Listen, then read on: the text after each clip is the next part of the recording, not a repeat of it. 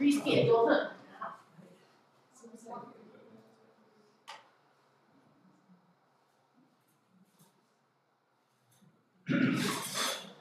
Okay, so I think we'll go ahead and get started here, if I can figure out how to do the. Do we record to the cloud or the computer? Cloud. Recording in progress. For those of you who don't know, you're being recorded. Everybody in the peanut gallery, huh? Yeah. It's free food. Free food. Everybody, Okay, well, uh, my name's David Dowdy. I'm the building code official for the town of Dolores.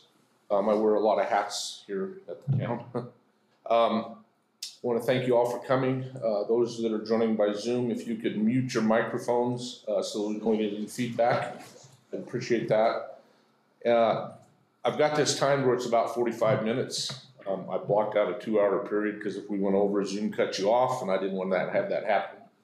Um, we have refreshments, as Ann told you. The restrooms right back here. Uh, there's two of them. They're not unisex, so you can use either one. Um, there's coffee, water, uh, looks like a fruit tray and then some donuts. Um, Anyhow, so I want to thank you all for coming. And what this is for, um, the town of Dolores, we've been experiencing some significant growth. Uh, we've had some issues come up that that we've got to get addressed, which is the reason we're doing this. Um, we've, we've had some, uh, issues that have come up, um, and I wanna say that we're not blaming anybody, we're not holding anybody accountable for this, for anything that's happened. Um, there's a lot of he said, she said, she, she said going on out there. Um, and so this isn't pointed at any one person, we just need to get everybody on the same page so that everybody understands what's going on in the town of Dolores. And there's several issues that we're gonna be talking about today. Um, so one of the issues we're gonna be talking about is the building permit requirement process in the town of Dolores. We're gonna be talking about short-term rentals, uh, the adoption of the twenty twenty-one building codes and fire codes. Um, and then we're gonna be talking about some of the other issues that have been going on. So Ann, if you could pull up the letter, letter to the realtors. So I sent a letter to, uh, the board of realtors a while back, kind of addressing what was going on. Um, we're still having some of the issues going on with that. Uh, yeah, you'll have to share screen. I'm getting it. Perfect. Um, and I don't know if you got a copy of this letter, we're gonna provide a copy of this letter for you. And then we have a copy of everything, we have the PowerPoint presentation, we have the building code requirements, the short-term rental requirements. Um, and we encourage you to take a copy of that at the end of this meeting. If you have questions, if you can hold those till the end of the meeting, um, I think it'll make it go a lot faster. Um, because some of these questions are gonna get answered as we go through here, I think. So we'll kind of go through that here. Um, so kind of what happened was we've had some, the Dolores has zoning. We have uh, requirements for zoning. And because a property is zoned for a specific use, uh, does not mean that that property can use that use. Um, let's say that we have a, a commercial building downtown, uh, and it's zoned for everything, including residential. That does not mean that somebody can buy that building and move in as a residential property, okay? It means that that right exists, but they have to go through a process in order to do that. And so we've had several commercial properties converted in town illegally um, that do not meet the requirements of the code or the town zoning ordinances. So that's kind of what started this process. And then the town, we're on the, currently on the two thousand six International Building Code Series, um, which is five code cycles behind. Um, and so we're updating to the twenty twenty-one code. And so we wanted to make everybody aware of that so you could tell your customers, um, be prepared for that and the requirements that go along with that. All right, so I'm gonna jump in with, uh, building permits and, uh, if you can pull that up, Ann, pull the building permit requirement up. And then if somebody wants to, I hand these out to you, Which one did you? Um, the building permit. I'm looking. How do you integrate? It says integrate sale offer. Is that something I have to pick? Because it says, please select the con, the offer you would like to integrate with. Contract buy and sell residential, ten twenty-three, so that's the only one. Please select two property values to search with. Uh, okay, seven fourteen. Hartman. Trista Scroll. Keaton. See if there's- There we go. Okay, yeah, so So that's, the the- one you want? On screen share, Yes. but permit required. yes. Sorry, guys.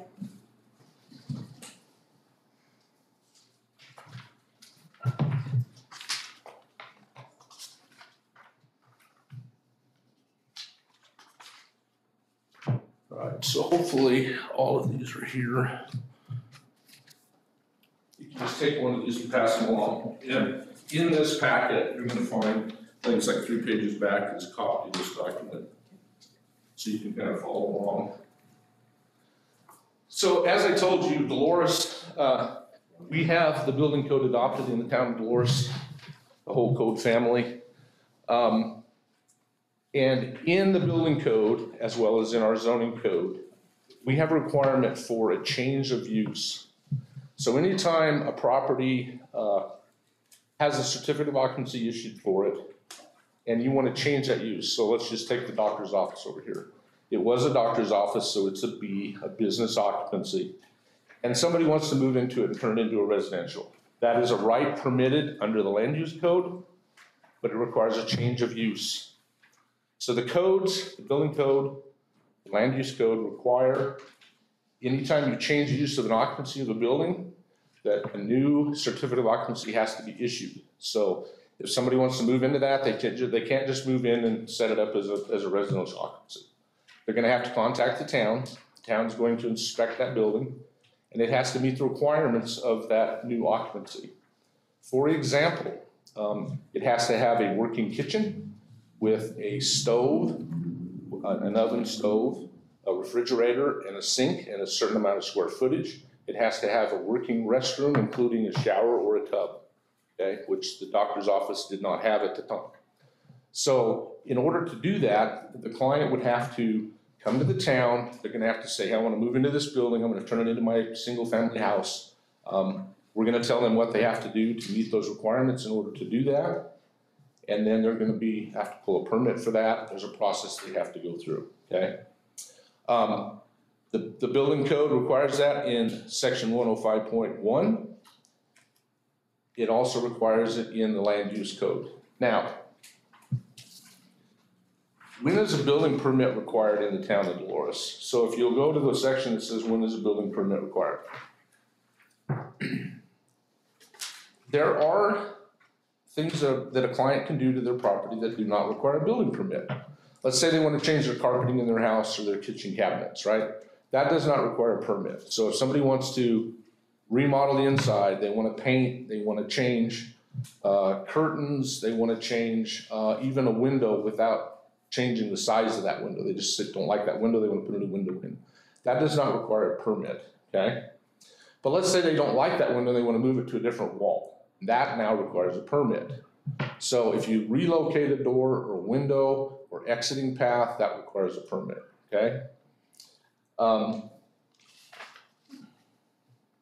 Electrical repairs, if you, uh, are working on your own primary residence, it's where you live, um, it's your occupancy that you live in all the time, you can do your own electrical work, you can do your own plumbing work. Let's say that you own a second home and you're gonna replace some electrical in it or plumbing in it. You cannot do your own plumbing or electrical in that building.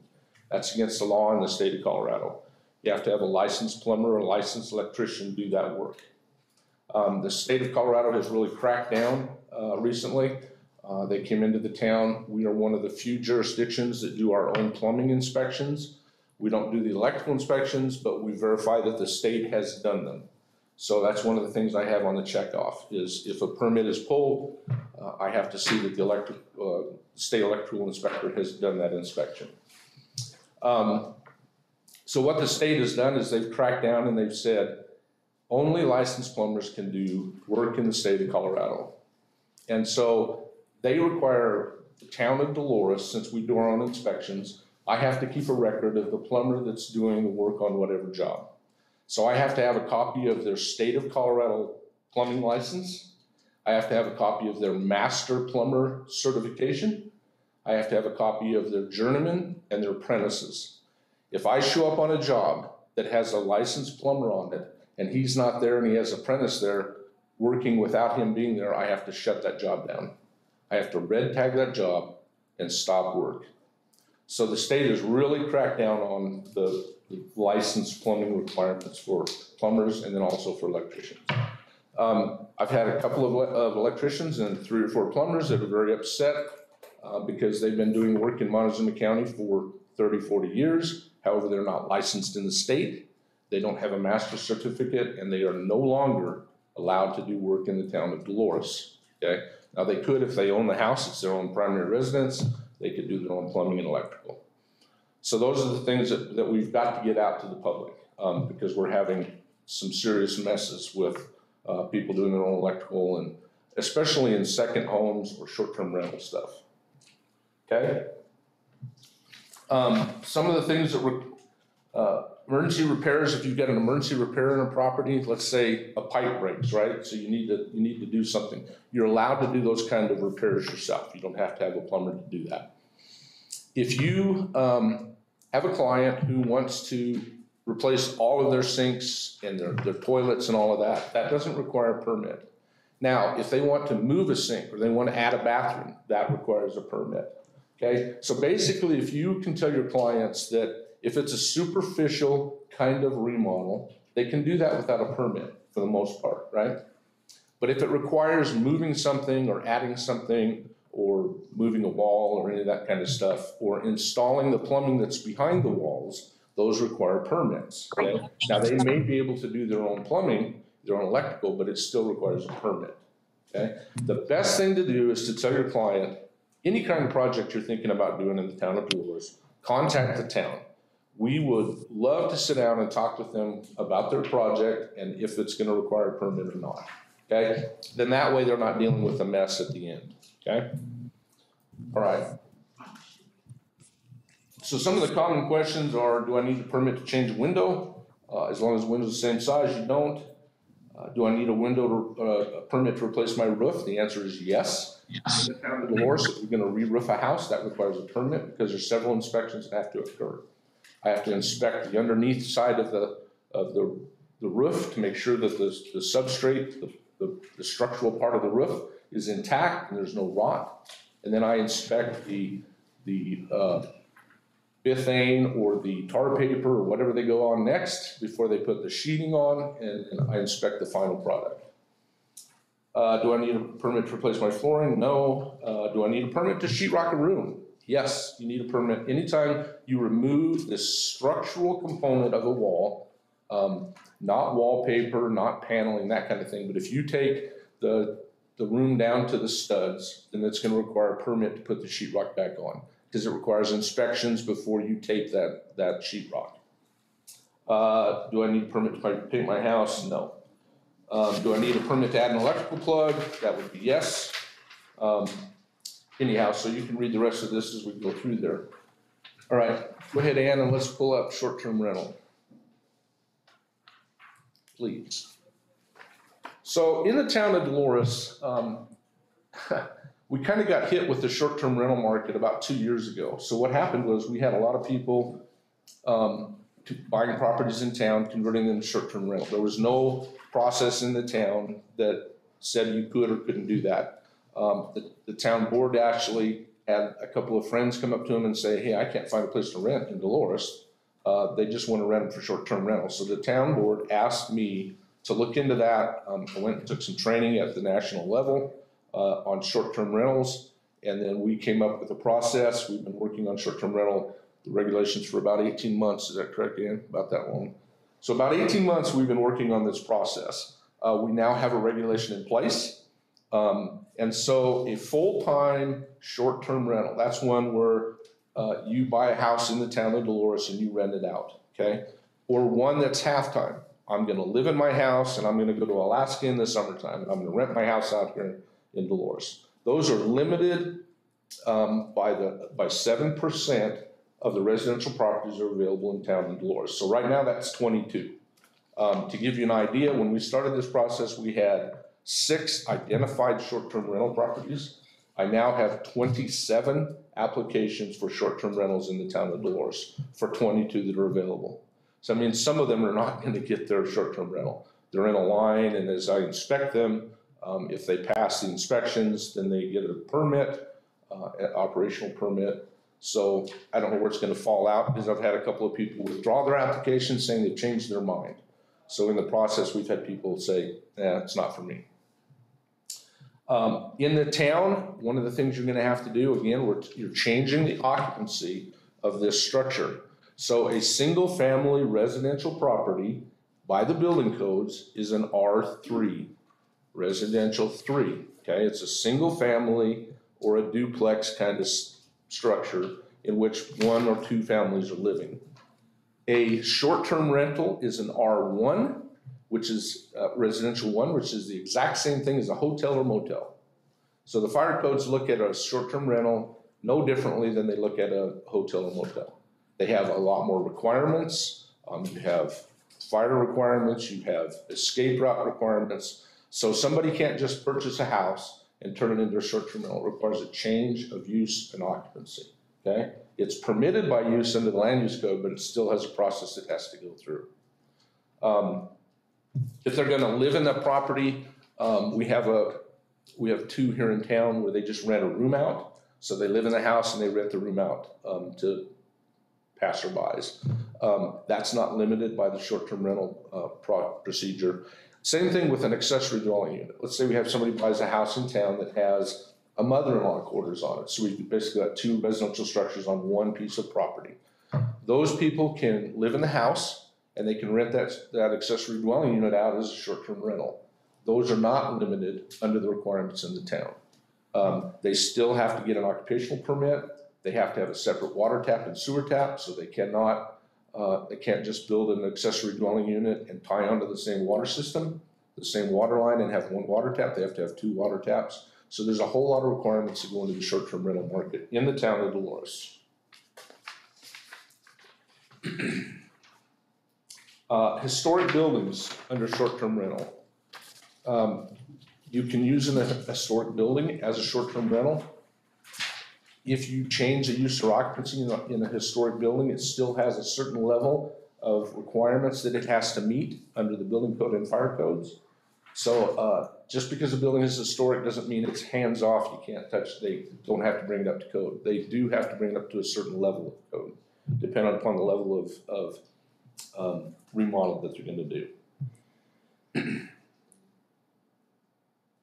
The inspections, so there has to be a fire inspection conducted uh, under a short-term rental procedure. It's pretty in-depth inspection. Um, It's about seven pages of stuff that I'm looking at when I inspect a short-term rental property. I'm inspecting the heating system. I'm inspecting the gas shutoffs. I'm inspecting the GFI grounding systems, actually testing every one. Um, I'm inspecting um, filters in heating systems and air conditioning systems. I'm inspecting the electrical box, inspecting any kind of fireplace or wood stove for clearances, uh, for chimney clearances against, um, trees, barbecues and where they're placed. Actually, had, on one of the inspections I did here in town, uh, they had a barbecue that was sitting on a covered back porch. Um, and they'd used it so many times that it actually had charred the wood behind, on the wall, behind the barbecue. Um, so barbecue has to be ten feet away from any combustible material. Um, So those are the kind of things I look at. It's a pretty in-depth inspection that's required. Okay, and let's go to adoption of the please.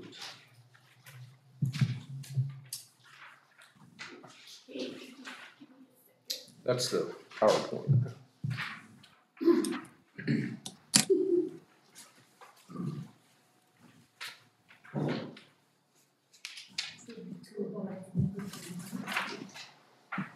You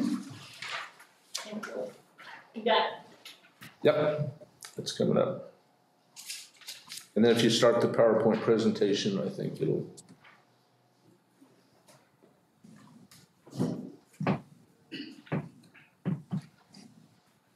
From beginning, yeah, just go from there. So, so currently, the town of Dolores, we already have the building codes adopted. We've been under code regulations in the town for a long time. Um, we are currently on the two thousand six International Building Code and International Fire Code, uh, as well as the rest of the ICC codes that are referenced by those two standards. Okay, Ann, go to the next page. And the next page. So believe it or not, uh, there used to be a building code and it, it could be this simple, I guess. Uh, it was called the Code of Hammurabi. And what it was, was if you were a builder and you built something and somebody lived in that, and that thing collapsed or burned down and killed somebody, you were put to death. If you did that and your, the owner's son or family member died, then your son or family member were put to death. So that's kind of where the code started wa- way back when. Um, thank God we're not to that point anymore, any longer, but that gives you an idea how far the codes go back. Okay, Ann? In the town of Dolores, uh, shortly after the town incorporated, um, they passed some rules and regulations, uh, and they determined there were gonna be standards followed for buildings, especially in the downtown area. As an example, any building that was tied to another building, right, had to have a rock wall between it. And that rock, wall had to penetrate the roof, so that if this building on the left burned down, it didn't affect the building on the right. So they had some standards they followed way back, uh, at the turn of the century. In two thousand seven, the town of Dolores adopted the International Building Code, the two thousand six series, uh, and the International Fire Code and all reference codes.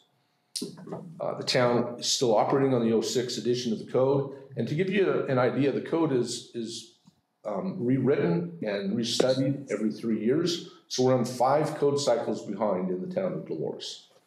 Um, okay, and next slide. So what, you may ask, what's changed since the 06 code was adopted? Well, YouTube was invented, um, world population reached seven billion, houses can be three D printed now, uh, self-healing concrete, building is front and center, um, transparent aluminum, light generating concrete, there's all kinds of things that have happened since the 06 code. And what, the reason I'm pointing that out is because in the 06 code, as we have it adopted, it does not allow for us to recognize some of these new, new products and new systems for building. One of the biggest ones is the green building. The 06 code didn't recognize that as much, so solar and some of these um, green energy savings products and systems were not approved under the 06, and so as the 06 is still in place, I have a difficult time allowing people to do that. I have to, there's a whole process I have to go through in order to allow that. Where the new code, the 2021 code, recognizes those and gives credit for that, so it has a whole process for that. Okay, and, Oops. No, you're fine. no, you're fine. Okay, so the building codes, uh, right in the very front of any of the building codes, it, it, it lets you know that the building code is the minimum standard. So you- you're gonna hear a lot of people, especially in Montezuma County, right? Montezuma County, there are no building codes, and people don't want building codes. Um, th- they, they think the building codes are this really overbearing, overreaching product, and it isn't. It's the minimum requirements under which you can build safely. And so, as a minimum standard, it doesn't have a lot of super over the top requirements, right? Um, and so, I want to point that out for structural integrity, construction materials, and fire protection. So, it's the minimum requirement uh, based on that. Okay. Okay, next one. So the codes, every three years, there's a process at ICC, and ICC stands for uh, International Code Council. And what they do is they review the code every three years. They re- review the building code, the residential code, the fire codes. Um, and what they do is they look at that code and they look at what's changed in that code. Are there things that are no longer relevant? Are there wording that's incorrect? Do we have conflicts between other codes and what we've got written? And then they also take in uh, public input. So you as, as realtors could actually write in a code change and submit it to ICC. Every code change, it changes reviewed. It goes through a process. I sit in on, I actually sit on code writing councils. I help write codes for NFPA for all the wild, wi- uh, wildland interface codes. So if it's in the wildland interface, it's construction, it's water supplies, uh, building materials, I actually sit on that code as an expert writing that code. And so we review those, those inputs from the public and we look, number one, is their relevance? Is what they're asking to change relevant to what that code section is saying? If it does, it goes to a next level. At the next level, they determine, you know, what is the relevance? What is wrong with the code or what are they trying to say? Um, somebody could say, I don't know, I don't want rescue windows in bedrooms anymore. And then they could write their reasoning why, and then the code council is gonna look at that, they're gonna determine, is that in fact relevant to that section? If it is, they're gonna, they're gonna move it on. If it isn't, they're going to send that person the document back saying why. They're gonna state the reasons it's not relevant. Uh, they may wish to rewrite it and resubmit it. Then it goes through an entire process.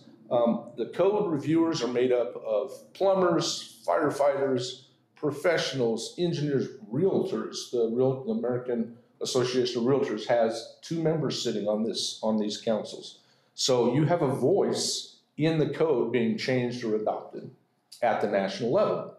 And so all these people get together, um, and we do it every year, we do a, a code meeting and we discuss these changes, um, we argue back and forth, um, we come up with expert testimonies, and then we decide, does that have relevance? Do- Does it make it into the new code? If it does, we change the code, and then every three years, the code is republished and then resubmitted, and that's the new code. So that's the code cycle and the process that follows.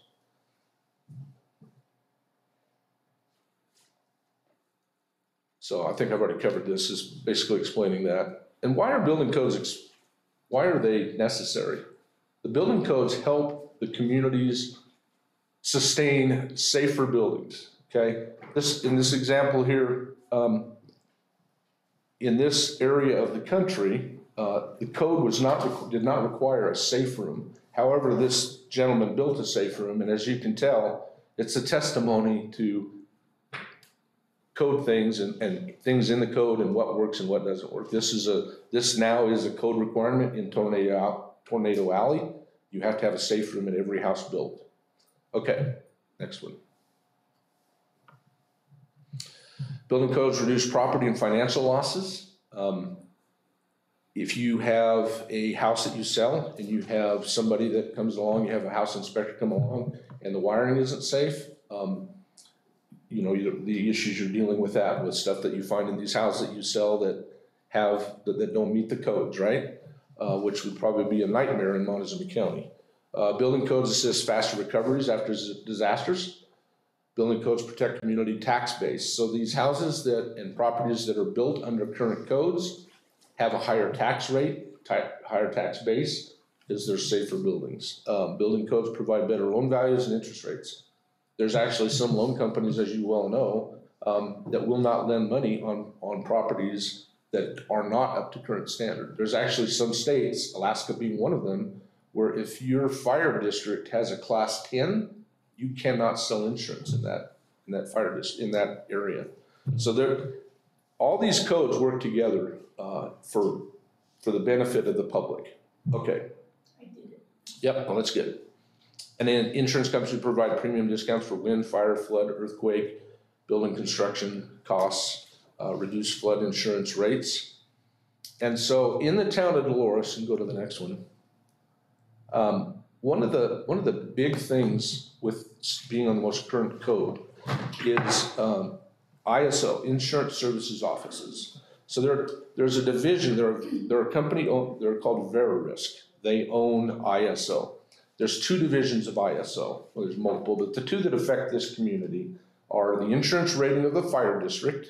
So they're gonna rate the fire district on several things and they're gonna give them a grade, right? And then insurance is sold at a rate in, based on the rating the fire district gets.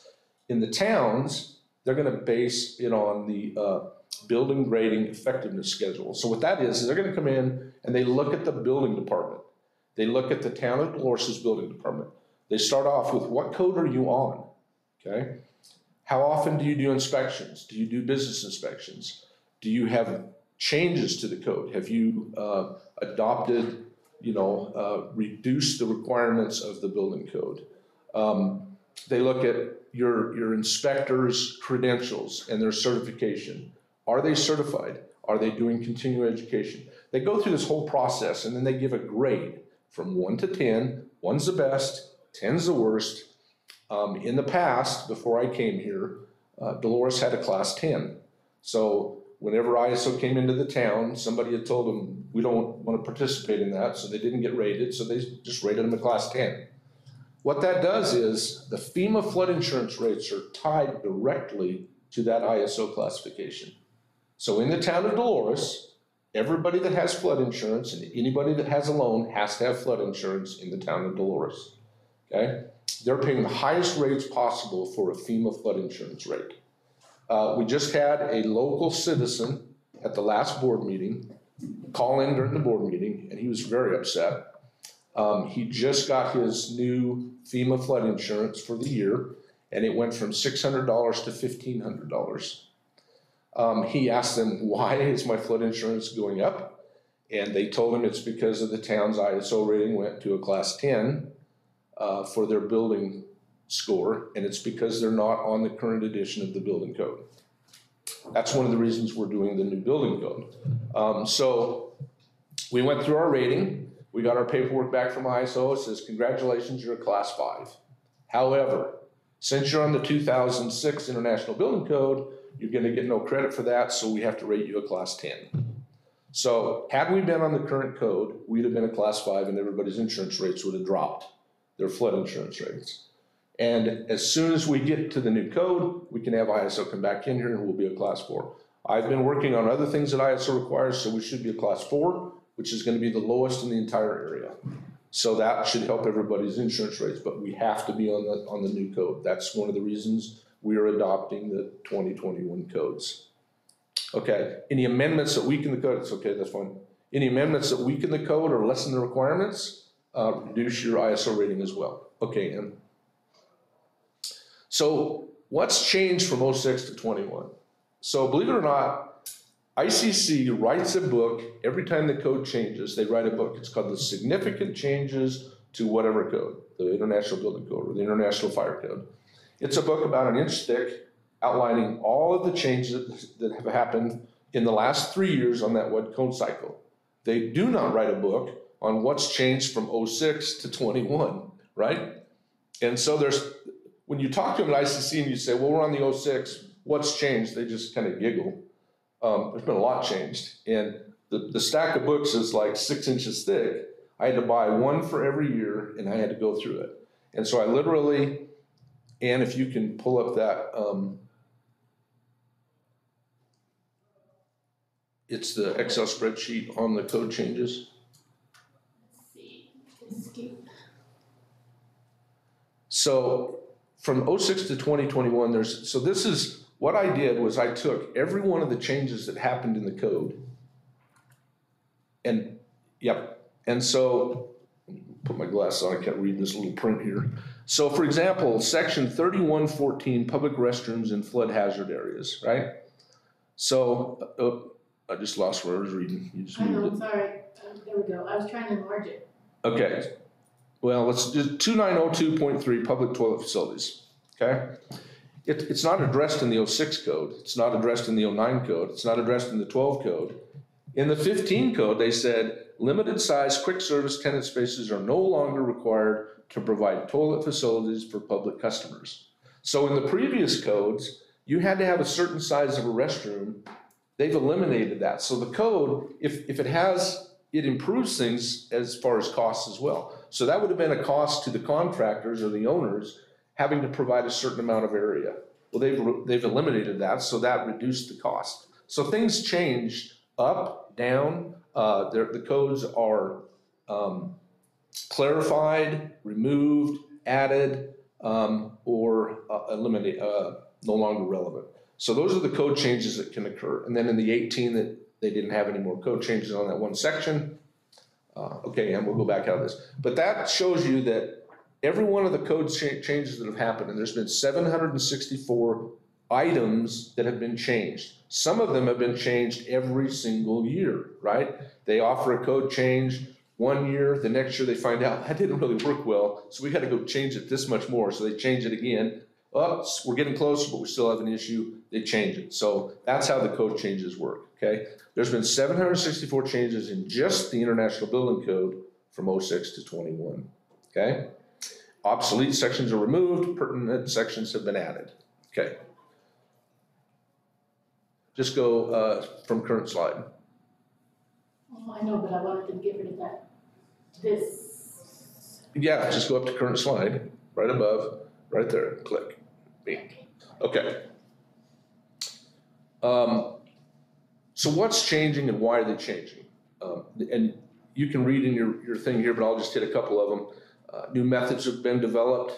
They resolve conflicts, new materials, new systems apply, uh, disasters. Um, how many here have, remember what happened in Florida here this, this year with the condo collapses, right?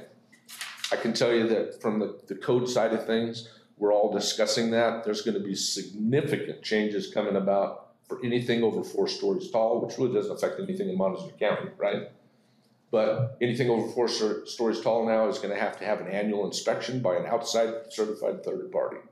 So think of all those people now, that are selling those four-story hotels, right? And you can't inspect it, and you can't hire the inspector. It has to be a third party coming in looking at it. So that's gonna drive the costs up on some of this stuff. But it's because things have been overlooked and we've got issues now. Okay. Next slide.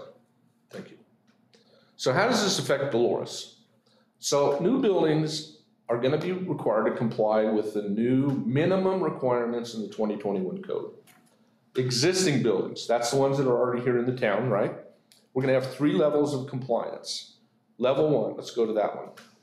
Level one alterations include the removal and replacement or covering of existing materials, wall materials, elements, equipment. I wanna change my kitchen sink, I wanna change my water heater, right? Uh, anything that's kind of minor, uh, replace kitchen cabinets is another example. Level one is the least impacted by the codes. They do not require a permit, okay, most of the time. So level one, most of the time, does not require a permit. However, like I alluded to in the very start of this thing, it's recommended that you have your clients just call the town and tell us what you're wanting to do. We'll tell you whether a permit's required or not. A lot of times it's not required. Okay, next one is level two. Level two is a little bit more in depth, right? So we're gonna reconfigure some space. I'm gonna move this wall and extend it four more feet because I want a bigger living room, right? That requires a permit. It's a level two remodel. It has a lot more requirements come into play once you start doing stuff like that. Because of exiting mainly. So if you're changing the exit paths in a building, you may be restricting exit travels, okay? Uh, I wanna remove an exterior door. I don't want that door there. I'm gonna close that wall up, right? That requires a permit. It's also level two remodel, okay? All right, next one in. Level three, this is the one where we're gonna remodel the entire building, right? Or at least fifty percent of the building. So once that hit, this hits fifty percent remodel, all of the requirements in the code come into effect, okay? So if I'm gonna take this building and I'm gonna remodel in half the side of the building, that area that I'm working in now has to be brought up to code. Now, more than likely, the other side may not have to be brought up to code. Does that make sense? So we're not gonna make you tear out the other half to bring this half up to code, right? Now, there are some electrical things that, that may require this side to be, have the electrical brought up or the plumbing brought up. So there may be ish, uh, maybe systems or components that have to be brought up to the current code, but more than likely, it won't happen that way. Um, if you're working, let's say we got a two-story house going right, right over here on Second Street, they're completely remodeling the upstairs. They're not doing anything downstairs. That second story has to come into compliance with the new code and all of the components that lead to the exit. So the staircase has to meet the requirements, even though they're not touching it. Um, the hallway that goes to the front door has to meet the requirements, even though they're not touching it, because you're exiting an area that's completely being remodeled. So there's a whole lot of stuff that goes into level three. All right, okay, in. Historic buildings, okay? If you have a building that you think is historic, it has to be one of three things. It has to be nationally recognized, state recognized, or locally recognized in a program that the National um, and I can't remember who it is that requires them to, uh, Department of the Interior. So if you have a community out there, um, and I don't know, Dolores is, our local rec, uh, historic district is recognized by the Na- Department of the Interior. But let's just say, I don't know, and I'm gonna, I'm gonna pick on Mancos, right?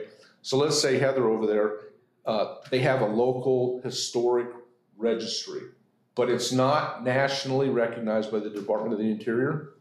It's, it's fair game in anything in the building code, okay? It is not historic according to the building code.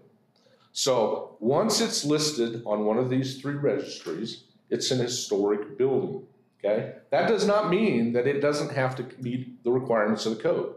It still has to meet certain levels of the code, okay?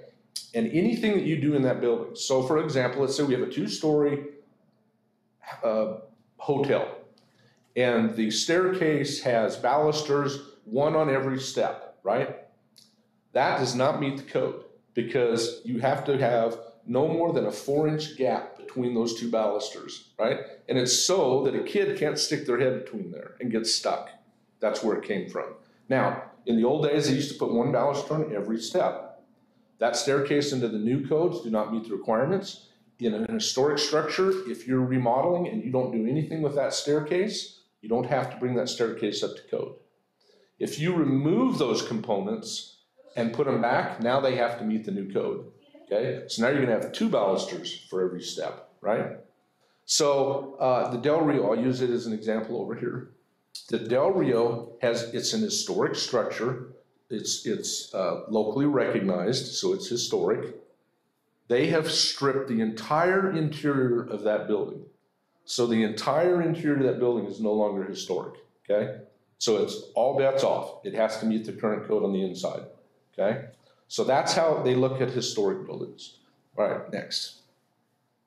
Let's talk about the elephant in the room. This is the one that's gonna get everybody all riled up. Um, it's gonna especially get the contractors riled up.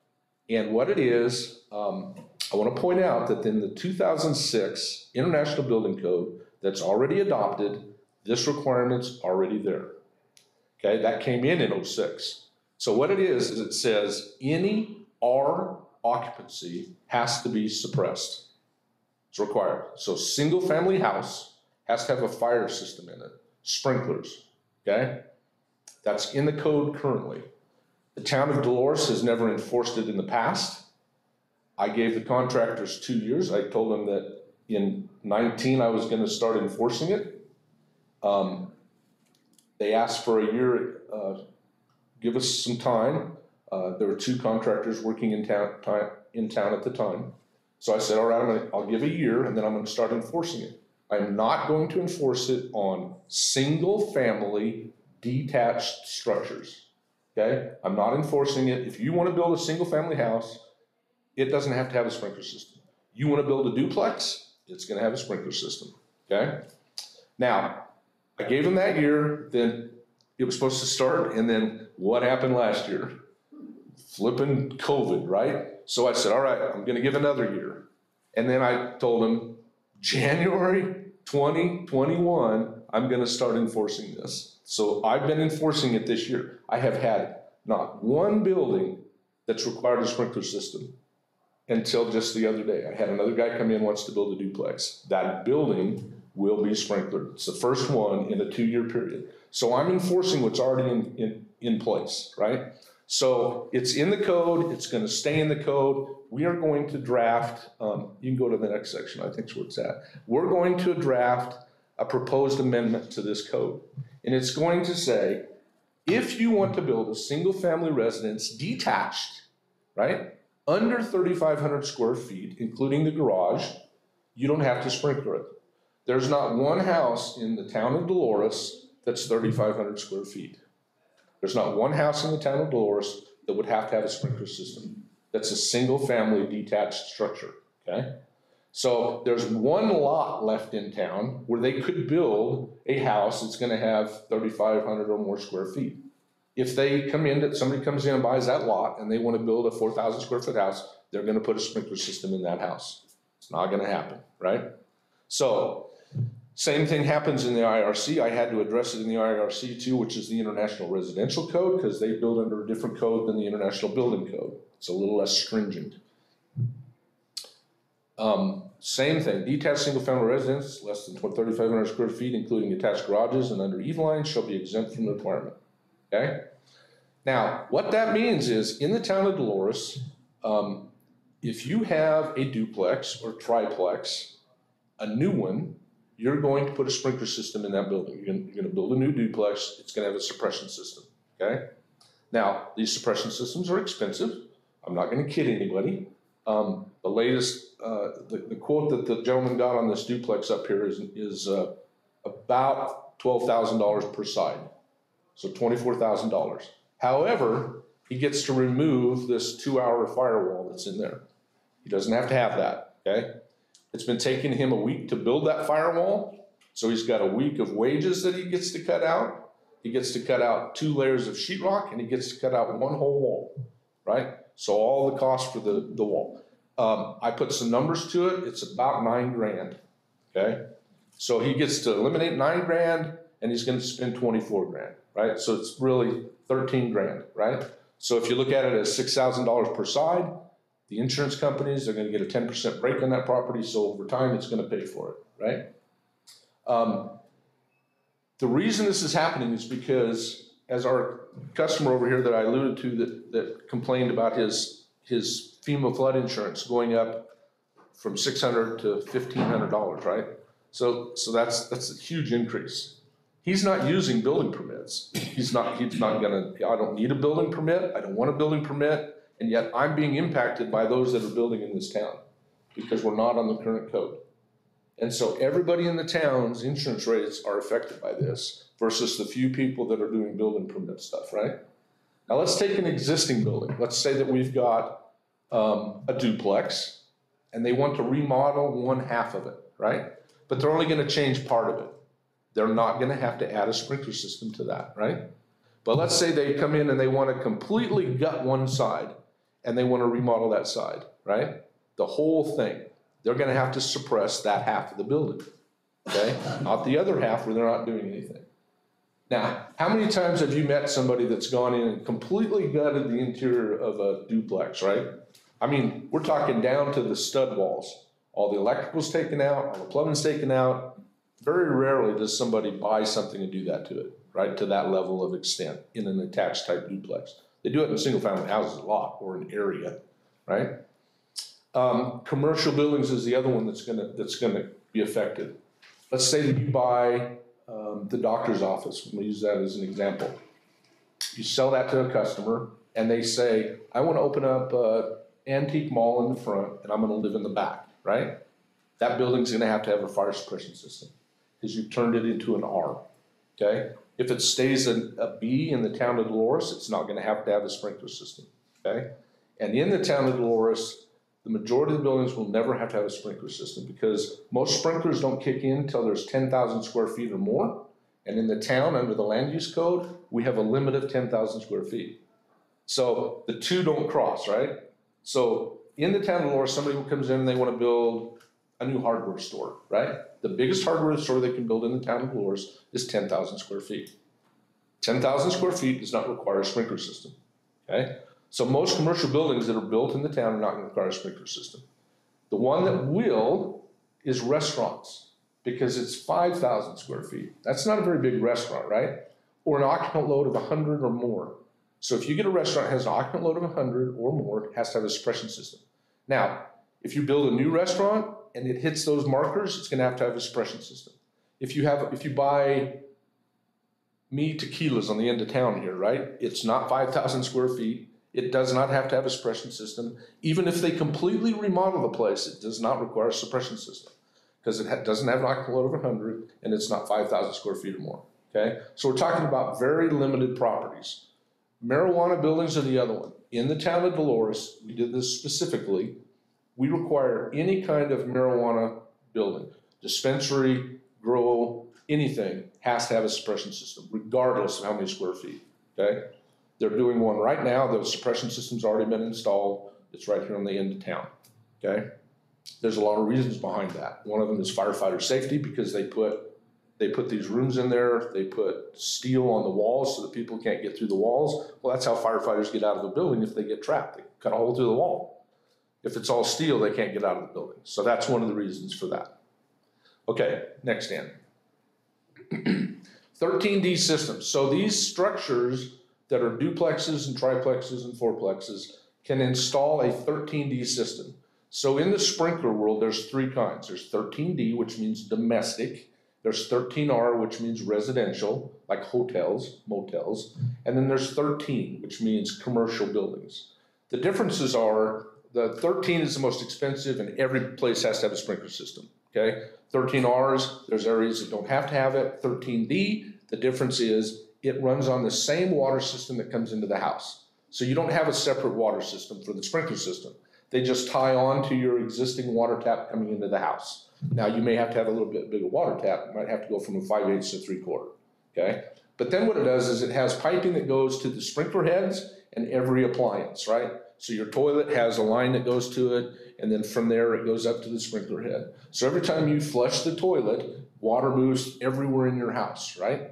If there's a fire, the sprinkler head will pop, and only one head pops, not like the movies where they all go off and everything gets wet. It's one head that goes off and suppresses the fire, okay?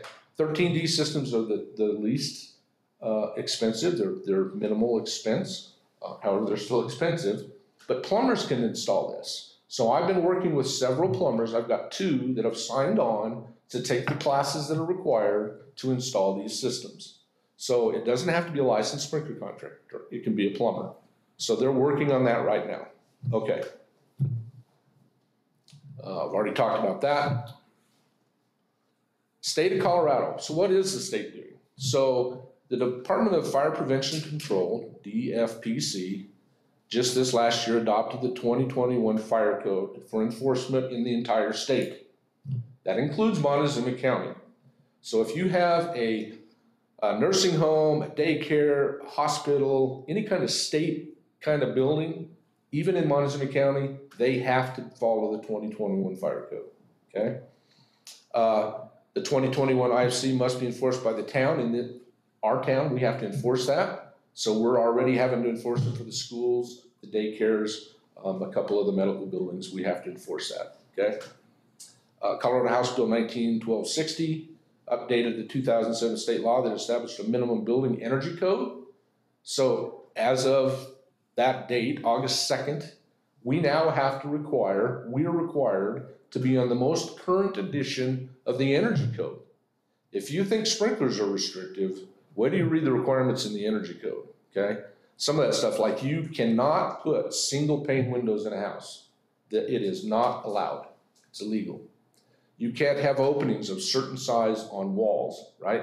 Because you're losing too much energy through that, like this wall behind you, right? That would be a no-no because you're losing too much energy in this building, right? You're putting the energy through that glass to the outside. The energy code is very restrictive. The states adopted it and they've said, we have to be on it, okay? All right, next.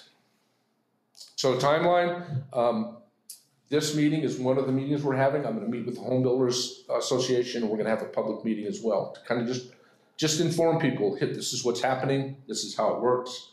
Um, and so we're gonna have the code ready to go by January first. Uh, and then there'll be a six-month grace period, if a builder wants to build, uh, up till, uh, July first.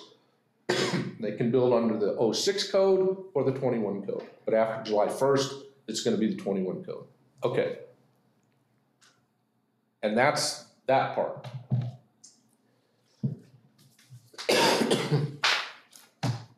All right, so I just wanna go over, you, did I put this on there, Ann? I don't know if I did or not, I'm gonna find it. the main point document, I don't know if I put it on there. Yeah, Give me a minute. you got it, yep. I need to share it with you. And so, just to kind of quickly wrap up here, and then we'll take questions. Commercial buildings are not residential structures.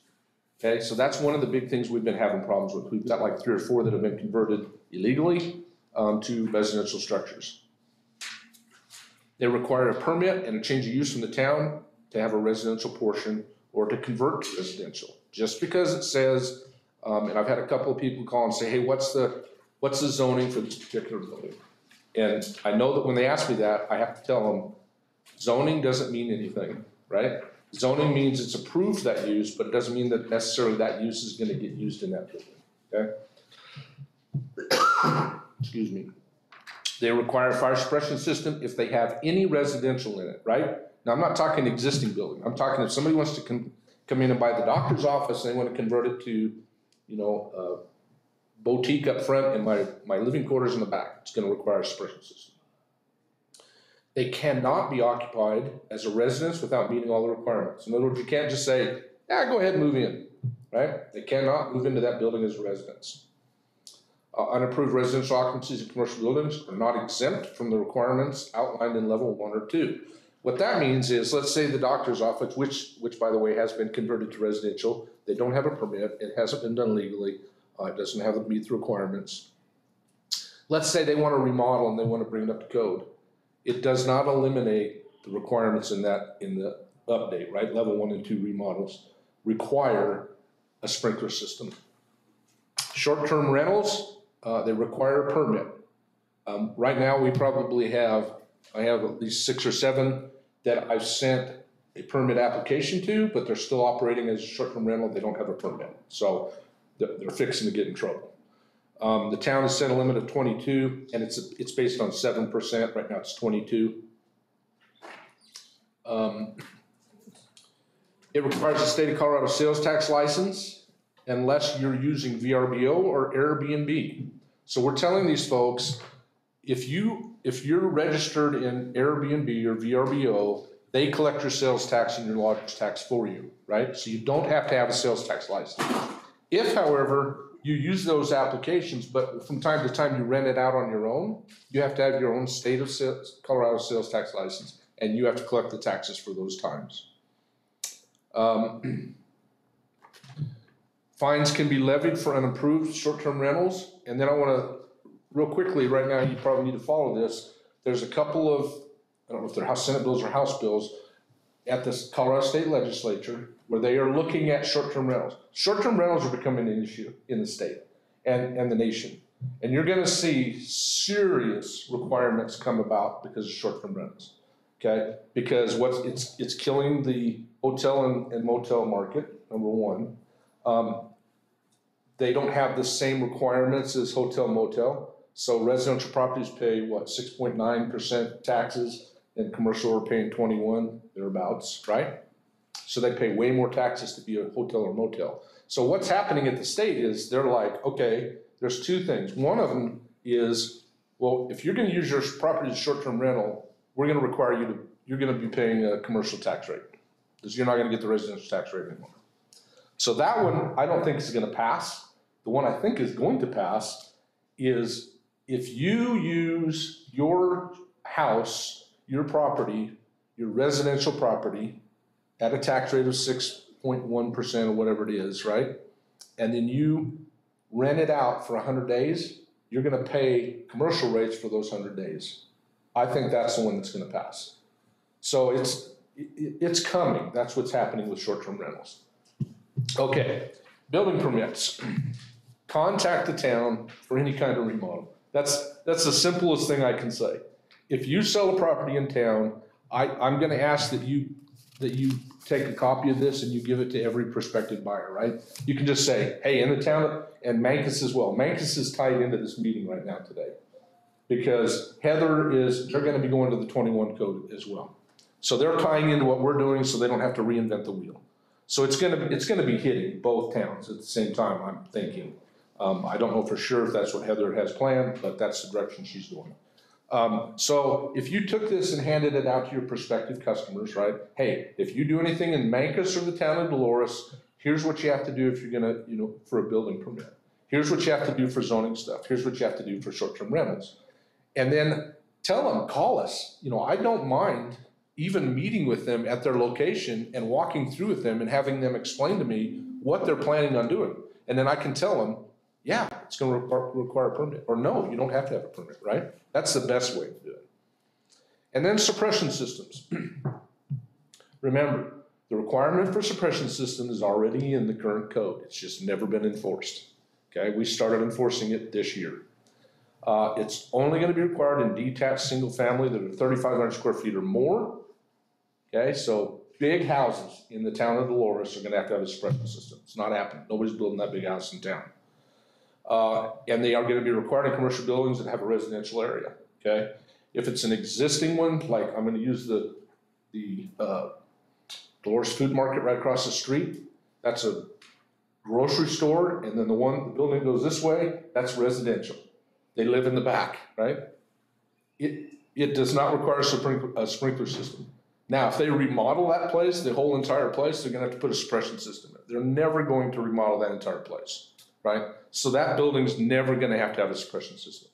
Now, let's say that thing, God forbid, burns down and they wanna replace it, they're gonna have to put it back with a sprinkler system, if they wanna live in it, right? Okay, so that's, that's where it's going, that's what all of this is about. Um, we're trying to clear up some issues in town that we've, that have become legal issues now. Um, anyhow, we're trying to create everything here, to get cleaned up, all right? Now, I'm gonna open it up to anybody that has questions. And can you watch the, I don't have the control panel, so I don't know if anybody's. So out there, uh, that, those joining by Zoom, if you have questions, um, just chime in and Ann will let you in the room. Bonnie Layton. Turn your- has her hand up. So it looks like Bonnie, like, go ahead, Bonnie. You'll have to unmute yourself. Can we get a copy of your printout of your, your meeting highlights? That was very good. Absolutely. So what I'm gonna recommend is, I'm gonna tell everybody my email address. You send me a request and I'll send you all this electronic data. So my, my email is david at townofdolores.com. Let me Get So that once again, down. that's david at townofdolores.com. You send me a request, I'll send you all this information. And if you have Okay. questions, you think so- something later too, you know, just give me a holler. Okay, Sounds great. Thank you. you bet, thank you. Is there a new? So right now, the, oh, that's, I, I apologize, I forgot that. So right now in the town of Dolores, we are completely rewriting our zoning. So we've been, that's been about a 12, 14 month process too. Mostly is relabeling, we created new zones. So we'll be just relabeling the residential zones in their new, um, shorthand ID. And the downtown commercial district will be renamed. Um, the zone boundaries haven't changed. They're just the designated zones. Uh, they're, they've been renamed and then some of the standards for the- each of those zones have been changed. Right, so we're, Just the limit of twenty-two, um, short-term rentals, that's just within the city limits, right? Yes. Once you get out in the county, Yes, so Montezuma County currently has no regulations on short-term rentals. So everything that I'm discussing today applies only to the town limit, incorporated town limits of the town of Dolores. So that this three-mile run up this canyon, from canyon wall to canyon wall is pretty much all that we're talking about for, for everything I've talked about today. Um, Mancos, as I told you before, um, they're, they're on board, they, they wanna go to the twenty twenty-one code too. I, the short-term re- rental regulation stuff, I don't know where they're at, I did hear that they put a moratorium on them over there, or they're going to. I, I don't know where they're at, I, I shouldn't even say. So, yeah, Montezuma County, it's wide open, they can do whatever they want, um, there's no regulations. I, I don't know, I don't know where this thing's gonna go, um, like I said, I sit on code hearings and one of the big topics right now is short-term rental. I really think there's gonna be some real serious stuff coming down the pike. Um, especially there's been a couple of fatal fires. Um, so the more of that that happens, you're, you're gonna see them clamp down on short-term rentals. I mean, it's gonna be a, is gonna be a regulated industry before long. Okay, more questions? You have already talked about this. How do you define a short-term rental? Okay, a short-term rental is a residential occupancy other than a hotel or motel. Hotel and motel by definition are short-term rental, but they're not short-term rental. They're, they're their own division, right? Um, so short-term rental is, is defined as any residence property that is, that is rented on a less than thirty-day basis. Okay? So if it's, if you rent your property out for thirty-one days, it does not require, it does not meet the requirements for short-term rental. But if you rent it out from one to thirty days, that's a short-term rental, okay? And so in the town of Dolores, that same definition applies. If you're gonna rent your property out from one to thirty days, it's gonna be called a short-term rental. Now, you can have a short-term rental that's also a long-term rental, right?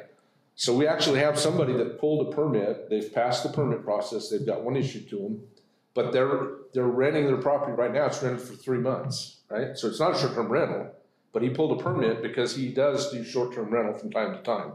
And so after this, I don't, I don't remember what he said these people are here for.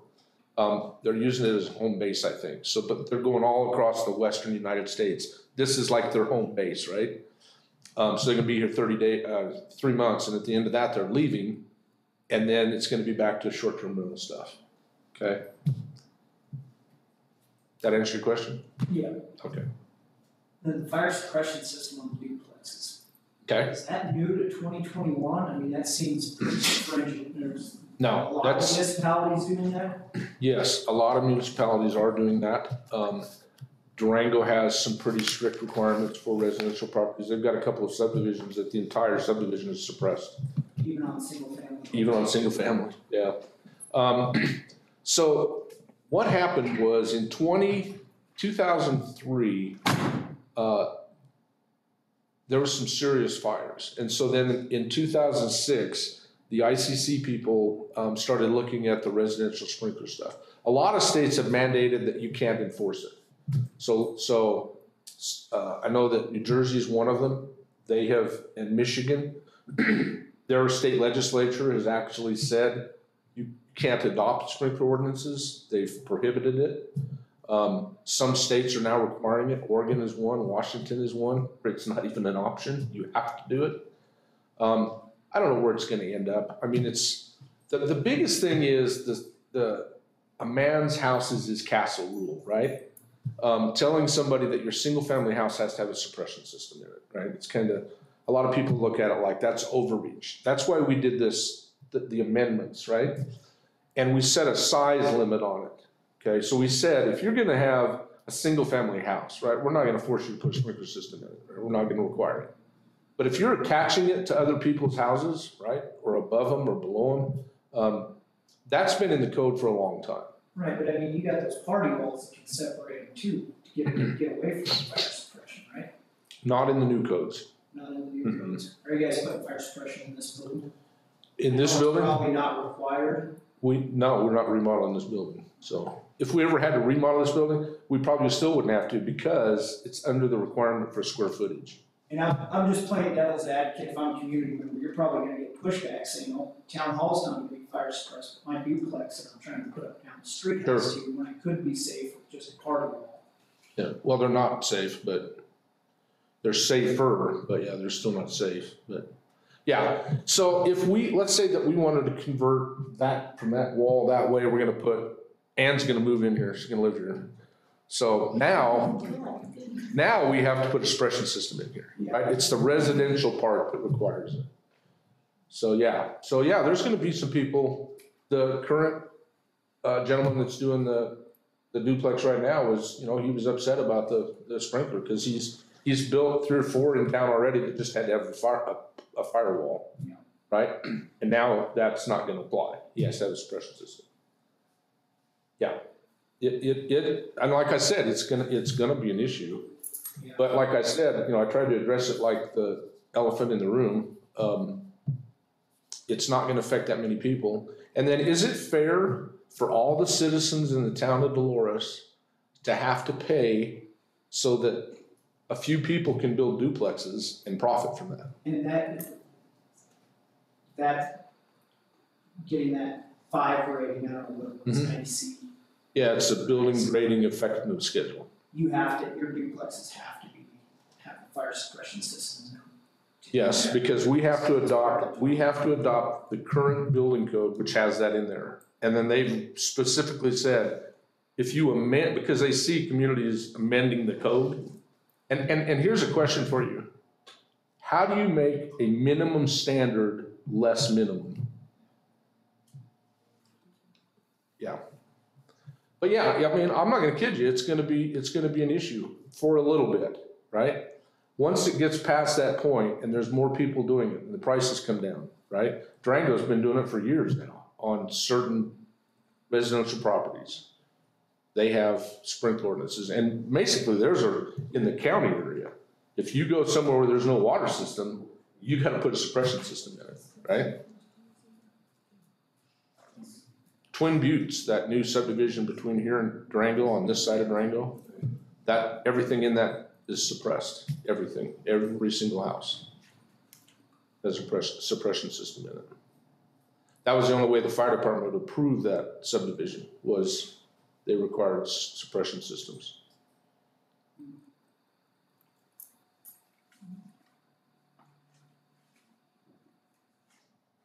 Okay, anything else? I don't see anybody raising their hand. You can find permit fees and everything online on the website.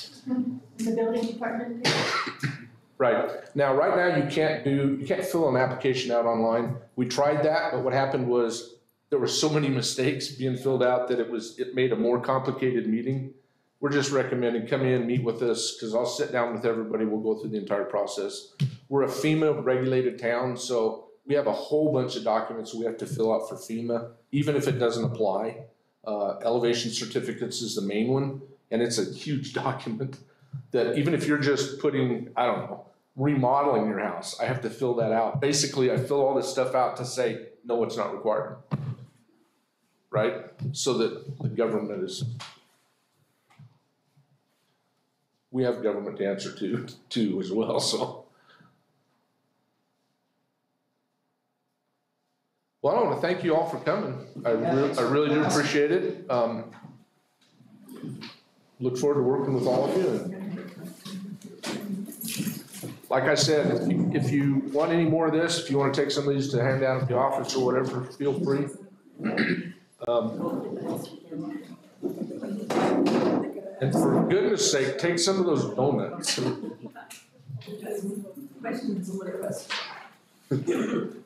Okay, can you go ahead and stop everything?